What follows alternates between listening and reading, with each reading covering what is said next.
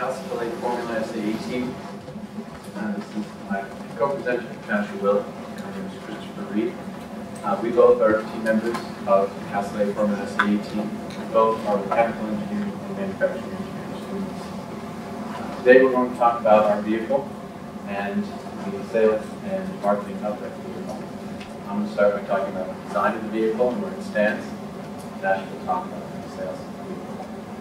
When we started on this design, we were given the premise that we needed to design a vehicle for the average weekend autocross racer. We took that very, very seriously.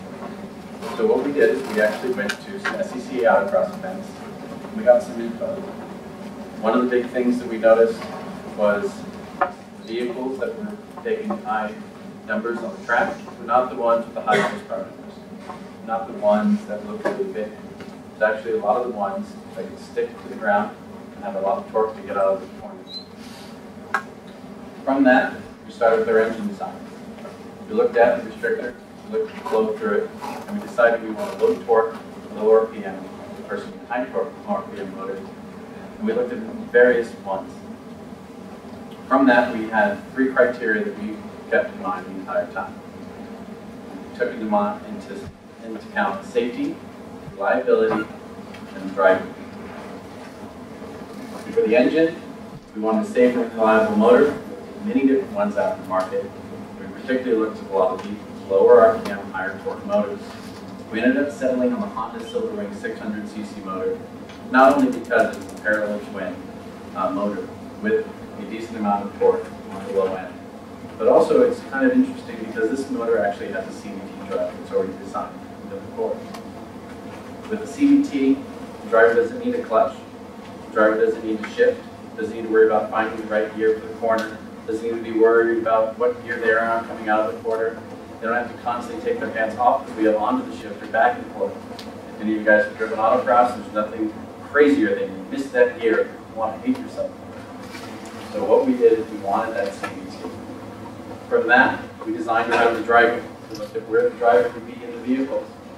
And so we designed the cockpit that was big enough for even the largest member on our team. We tell you, it's quite large. but we also designed it with adjustable pedals so that even the smallest driver could drive it.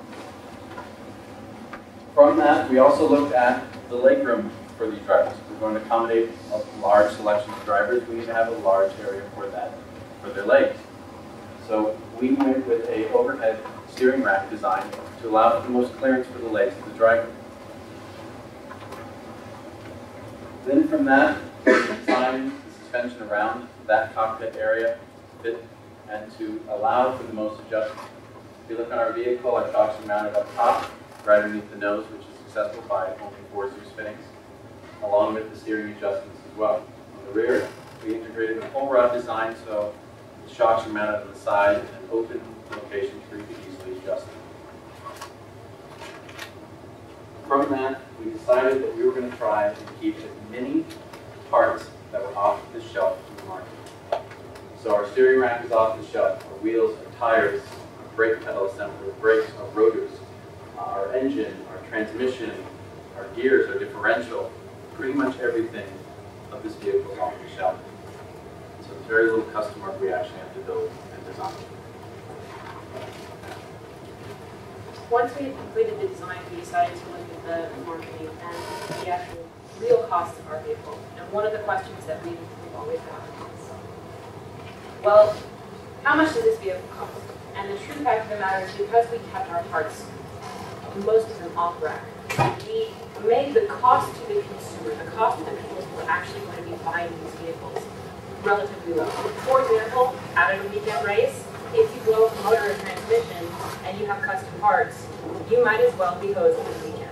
But in our particular vehicle, if you blow up your motor or transmission, I guarantee you there's somebody on Craigslist selling this motor or this transmission. And it is designed and manufactured in such a way that it could come exactly out of the scooter that it comes from and be bolted directly up to the car.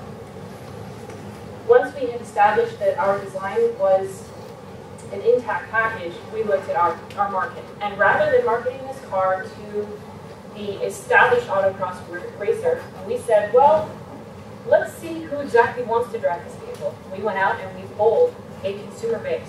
And from that consumer base, what we established is that this vehicle, being so adjustable, transcends the, the breach between the autocross racer and the weekend getaway, the family.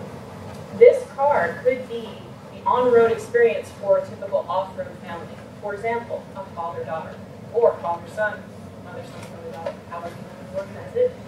This car is adjustable so that anybody from the height of five foot two to the height of six foot four can get into this car with one adjustment and drive it. And that made this particular package this exceptionally desirable for our actual market. From there, we broke down our numbers and we came up with the, uh, the actual hard costs. For example, our cost cost our car costs 15.8 uh, K to manufacture. All right, so what's our MSRP? Our MSRP is 22,499.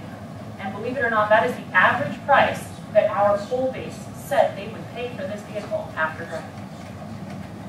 So from there, we looked at our, what our profits would be at a manufacturing production of 1,000 units per year.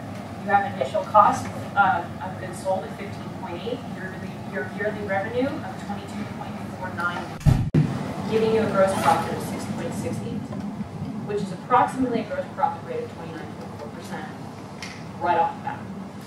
Now the question that typically comes after that is, okay, great. So how are you going to sell this car? And to answer that question, we established a marketing packet. We have a team of individuals ready to actually market this car in a way very similar to the Can-Am Spyder did with their initial marketing plan in the United States. We will take this prototype vehicle and a list of others to a setup event where we will actually invite people to come out and say, hey, would you like to try our product? Hop in, take it for a spin. Don't worry if you don't know how to drive standard, that's okay, it's got a CVT. Just go enjoy it for a little while. And that made this package accessible to people who don't already race. That transcends the boundaries that may exist. And for people who do already race, it's something new, it's something fresh, and it's something fun to drive. And because of the low cost, it's accessible to those as a non-primary form of racing. The question that comes after that, how are we going to manufacture it? And to answer that question, we're not. We designed this vehicle now we're going to sell you the rights to that design so that you can manufacture this vehicle in a manner that is profitable to your company. And what we're asking for in return is 30% of, of your gross profit in order for the this vehicle to be transferred to you. We feel that our design is absolutely intact. It is proven. It is, for all intents and purposes, accessible to many different types of people. And like Chris mentioned, by testing it on our drivers, our shortest driver is 5'2", our tallest driver is six foot four, and we have more than a 200 pound weight swing. And they all enjoy driving this vehicle, and the vehicle performs equally as well for all of our drivers. So, that being said, I hope you enjoy this design. I hope you enjoy this package. Thank you very much.